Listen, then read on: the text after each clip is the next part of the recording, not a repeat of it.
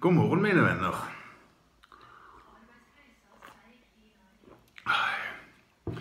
Jeg har på eh, NRK radio her på nettet. Jeg hører litt av statsministerens nyttårstale. Hørte den i går òg. Det var elendige greier, altså. Altså, Her begynner talen sin med å rose private initiativ. Folk som satser på å starte en egen bedrift og starte noe som har verdi for hele Norge. Men vi vet jo at det der er noe forbanna faenskap. Hun, hun mener det ikke engang. Dere husker denne her? hva? Ja, nei, Politikerne kan du ikke stole på. Altså, når vi etablerte Norges beste TV-selskap, så kom politikerne og tok det fra oss.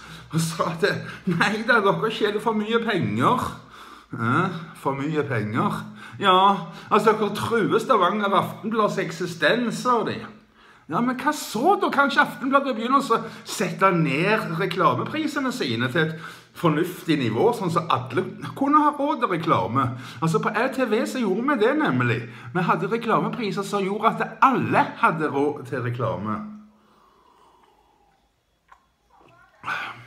Og dermed så ble vi selvfølgelig en torn i øyet på Stavanger Aftenblad. Og det var vel egentlig derfor at eh, det oppsto denne korrupte organisasjonen bestående av eh, Stavanger Aftenblad, Gunnar Haueland, eh, Jostein Soland og ja, Sjefen var jo Åse Kleveland, da. Det var hun som var kulturminister som gjorde det der mulig. Så eh, resten er historie. Jeg har lyst til å si noe mer. Men la meg nå se på historien. Se hva vi har gått, dere har gått glipp av i Stavanger de siste 20 årene. Altså, Faren tar politikerne. De er ikke til å stole på. Og så nå våkner Norge til sinnssyke diesel- og bensinpriser. Det skal vi si, se på. Så hvis du har sett denne her nå, så spol fram 11 minutter.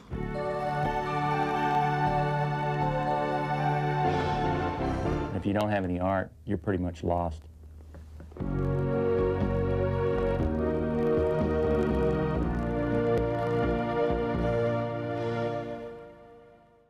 Altså Nå har vi jo kommet i en sånn situasjon at nå må jo noe, noe gjøres, da. Hvis vi ikke får konsesjonen vår ganske fort nå, så er det jo ikke noe annet å gjøre enn å begynne med piratvirksomhet igjen. Et godt sted ligger høyt og har utsikt til mange potensielle seere. Hvis eh, vi står overfor et mobilt, eh, en mobil sender, da har vi jo et lite problem da. Og, og da kan det bli aktuelt, vil jeg tippe på, i ekstreme tilfeller, å tilkalle forsterkninger. Det var jo sånn de jobba under krigen òg, for å finne disse her eh, sabotørene. Like så viktig som eh, plasseringen høyde er, er det vel egentlig òg å ha mulighet til å komme seg vekk. Kan du kjøre noe? Ja, kan jeg få kjøre forbi Gittmastua eller Kristiansand Dega? Jeg fikk Ja, det som fremgår denne kringkastingsloven, det er bøter eller fengsel inntil seks måneder for overtredelse av denne loven. Det ideelle sendestedet det har mange fluktveier og ligger høyt og høyt. Det jeg tenkte vi skulle kjøre nå, det har ikke det, så det er sikkert redusert.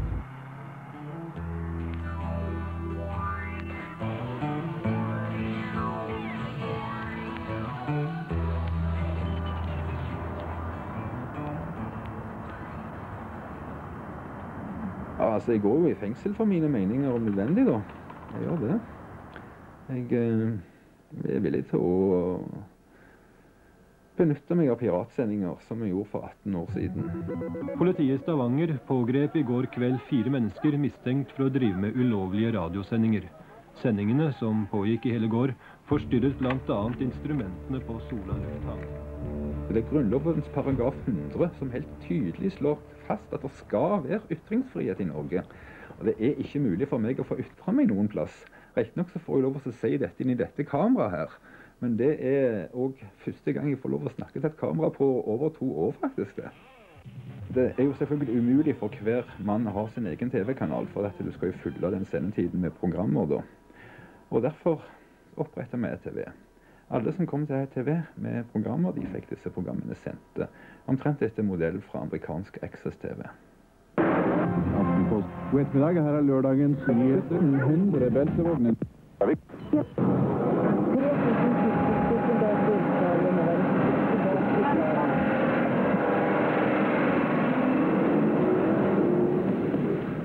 Vi pleier å si det sånn Velkommen til en velfortjent hvil, ETV.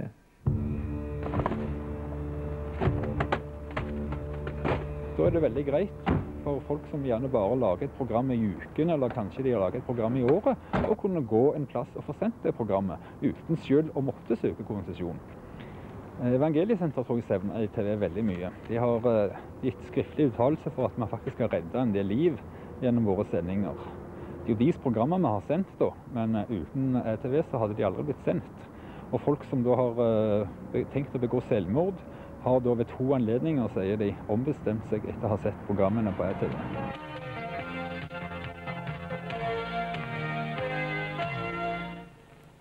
En tilflukt for den utslåtte evangeliesenteret. Vi har uh, mottatt uh, en veldig respons på det. Med folk som har sett programmet fra Evangeliesenter TV, og folk som er i nød, har rusproblem, trenger hjelp. Som, eh, som ikke har kjent til oss, faktisk. Men de har blitt kjent med oss med gjennom TV Da. Og, da er vi jo veldig takknemlige hvis vi kan få sende dette gratis. Sånn at vi når folk som er i nød. Det er jo det vi ønsker. Vi ønsker jo ikke å, å, å være på TV for vår egen skyld, for oss å si det sånn. Her inne her har det skjedd mye galskap, kan jeg få. Her har vi hatt uh, et helt band. Hele ingenting hadde vi her.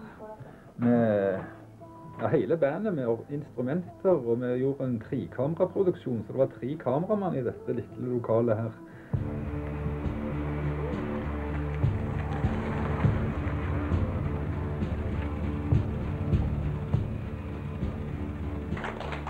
Tusen takk for vakre ord fra Arild, og ønsker de velkommen tilbake med en senere anledning. Hjertelig velkommen tilbake. Det er en belastning. At eh, min seriøsitet skal bli redusert pga. at jeg sender programmer som andre har lagd. Pga. at jeg velger å sende programmer for det om eh, vi velger en annen kvalitetsstandard enn det NRK gjør.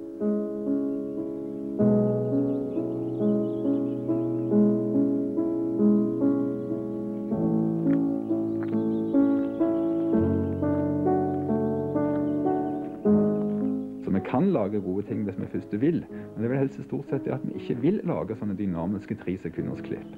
Vi vil ha litt lange klipp. Vi vil at folk skal få lov å snakke ut. Vi vil ikke klippe sånn sannheten. Vi vil at folk skal få snakke til punktum og få utdype sannheten. Og da blir det gjerne litt langt, men det er bedre det enn at du sitter med 30 sekunder med løgn.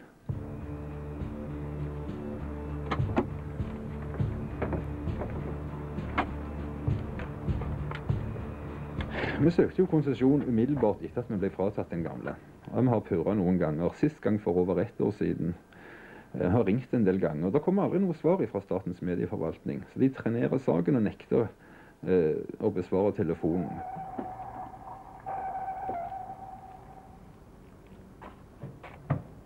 Det som jo skjedde, var at eh, Åse Kleveland fikk en sånn fiks idé. Sa at nå skal det kun være én lokal-TV i hver region. Og eh, da søkte TV Vest, som hadde gått konkurs tidligere, eh, i motsetning til TV, som hadde en relativt sunn økonomi. Det er da selve senderen, som eh, nå tilkobler et eh, vanlig og billig superværskamera. Det er for at den totale verdien skal være veldig begrensa hvis noe udemokratisk skulle skje.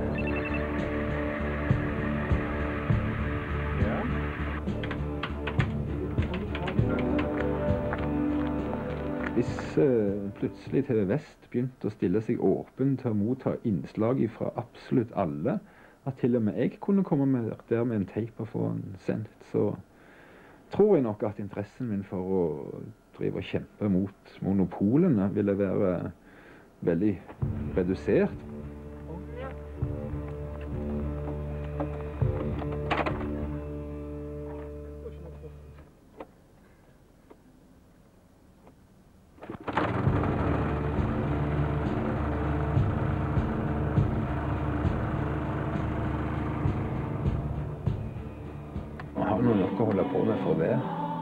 Har så mye gammel teip å gå gjennom og sortere og katalogisere at det er helt utrolig. At det produserer jo en del innslag fremdeles. Først og fremst for amerikansk TV. Det meste vi produserer nå, blir bare vist i Statene. En av de som har fått eksportert litt, og er jo Flammehunden Kid. Den er da Dette er fra Aftenbladet, og det er VG. Og Rogalands Avis. Suksess i USA. Millioner har sett Flammehunden Kid.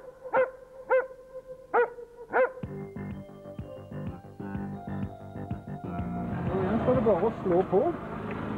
Slå på strømmen på videospilleren.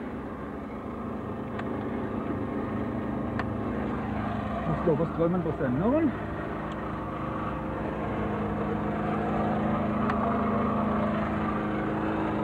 Så kan vi starte et program som har noe stille inn etter.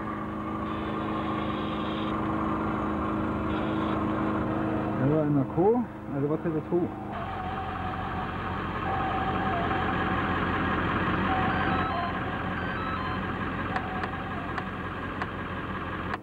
TV Norge, og der er TV. Ja, det kribler jo alltid litt i magen. Det medfører jo alltid en viss risiko å sende pirat-TV. Så eh, det er klart, jeg har jo alltid en viss nervøsitet for at noen skal komme og kjøre opp veien her, da. Nei, ytringsfrihet er for viktig til at du ikke skal ta sjansen. Og jeg syns jo at offeret er ikke så stort, da. Og det er litt slit, altså. Det er klart det er en belastning, men uh, sånn i forhold til utbytte så er ikke offeret for stort. Straffen er ikke streng, men bøtene er høye. For å si det sånt. Men så er det jo dette her med at vi skal følge våre lands lover. Men så, er- så vet jeg fra Bibelen at det hendte at, eh, at disiplene òg brøt loven. Og, og når fariseerne skulle ta dem, så forsvarte Jesus dem. Så eh, jeg går ut ifra at eh, hvis jeg skulle bli fengsla, at Amnesty International har tenkt å engasjere seg i den saken. Så eh, jeg regner ikke med at de blir sittende inne i fengsel så veldig lenge. Men tar gjerne sjansen.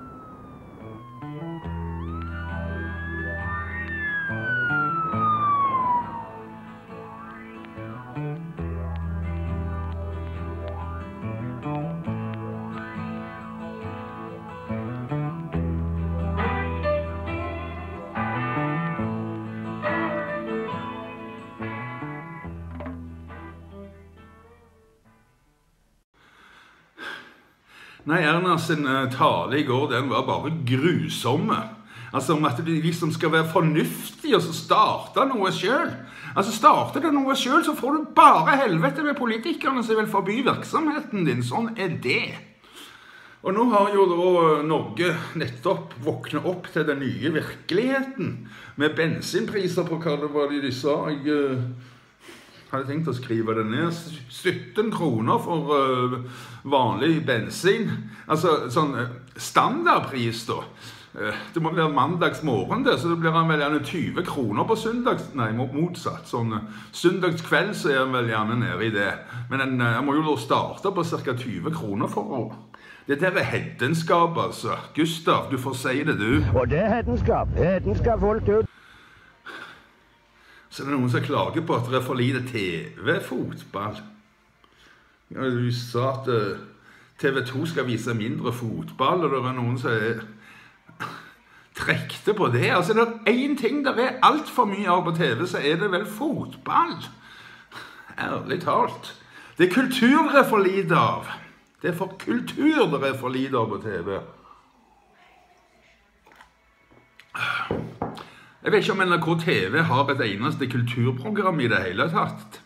De har et på radioen så grytidlig på morgenen at det rett og slett er latterlig. Altså Når folk har det travelt, skal komme seg på jobben og kunne tenkt seg å hørt litt sånne konsentrerte nyheter, sånn at du får vite hva som har skjedd i verden, Hei, da har de en halv time med Kulturnytt på radio. Jeg liker veldig godt Kulturnytt på radio, men sendetiden er helt sinnssyk, for da skal de sende nyheter. Men altså, TV Jeg tror ikke det er et eneste kulturprogram på TV. De hadde et kulturminutt med en innvandrer for noen år siden. Varte sånn fem eller ti minutter. Men det har de slutta med.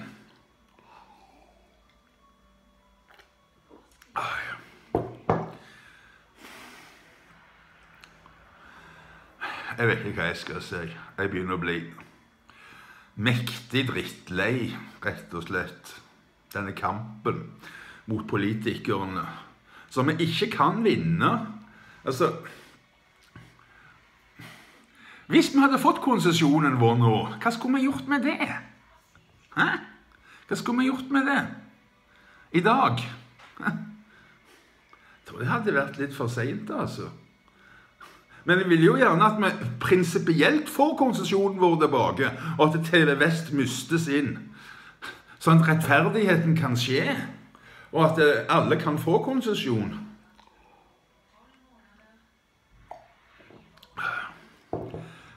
Men vi har blitt for gamle. Vi har blitt utbrente. Det er vel rett og slett tilfelle å si at Åse Kleveland har ødelagt mitt liv.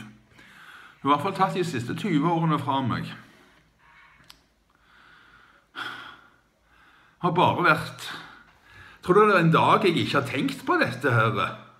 Farenskapet. Tror du det er en eneste dag jeg ikke har tenkt på det? Og tror du at vi fikk noe krisehjelp når Åse Kleveland ødela livene våre? I dag får du krisehjelp for alt. Bare en liten trafikkulykke, så er det krisehjelp. Mens vi som ble rana for hele livet vårt, vi fikk ikke tilbud om en dritt. Det sto ikke engang noe om det i avisene. Stavanger Aftenblad har alltid vært min fiende, så kunne en ikke forvente det. Men det sto ikke noe i Rogalands Avis heller, altså. Og jeg hadde litt mer tro på at Nerheim iallfall skulle skrive noe. Men han ringte og sa 'beklager, men jeg har tatt meg jobb'. Fritids, deltidsjobb i TV Vest. Jeg skal ha et filmprogram der. Så jeg tør ikke hjelpe dere. Ok, du ringte, og du innrømte det.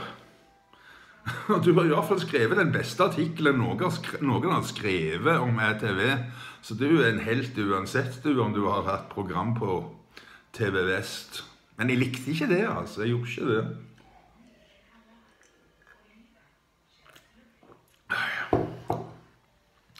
Jeg vet da faen hva vi skal gjøre. Kanskje vi bare skal ta med denne nyttårshilsen fra i går. Jeg vet ikke om det er vits i med noen nyttårshilsen. Altså Mens jeg sitter og leser dette her nå, så kan det skje en muslimsk terroraksjon. Altså, De har trua med så mye terroraksjoner, de jævla muslimene, at det, det er helt sykt. Så uh, det å ønske noen noe du ikke har tro på Jeg har ikke tro på at 2017 kommer til å bli noe bra år. Jeg tror det kommer til å bli et jævlig år. Enda verre enn 2016. Og nå er det snart tid til å markere jubileet for Charlie Hebdo. Og tror du muslimene har lyst til å gjøre noe den dagen? Jeg er sikker på at de har lyst til å gjøre noe den dagen. Det kommer til å bli et lite helvete.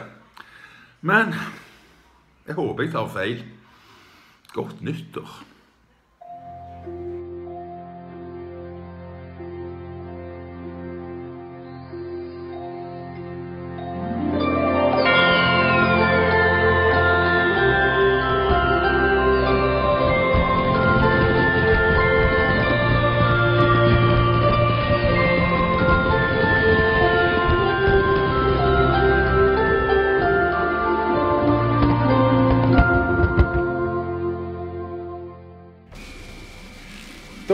På vegne av meg sjøl og på vegne av TV ønske alle venner og tilhengere et riktig godt nytt år.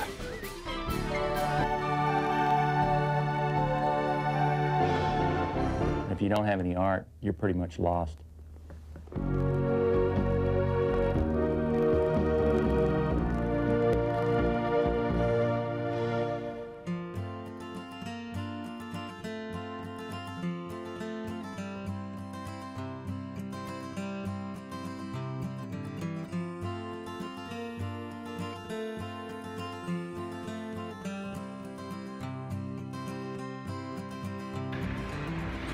Dette med parkering er i Norge en ganske, skal vi si, sinnssyk ting.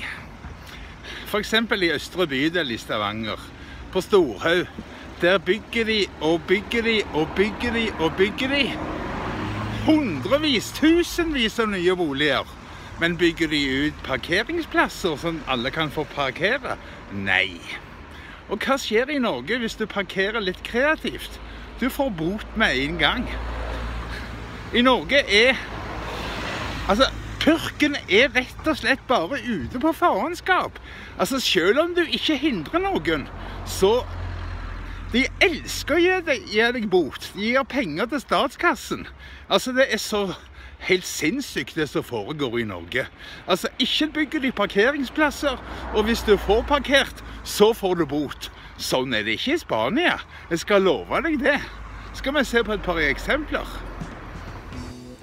Vi starter med denne stankoen som ligger nesten oppe med Aludara, eller Aludei, som vi visst har lært det skal uttales. Den gule bilen har parkert for å handle røyk. Den uh, Cruz Campo-bilen har parkert for å levere varer. Såkalt spansk dobbeltparkering. Som dere ser, så kommer alle bilene forbi uten noe problem. Så hvorfor i all verden skal dette være noe problem? I Norge hadde du fått bot.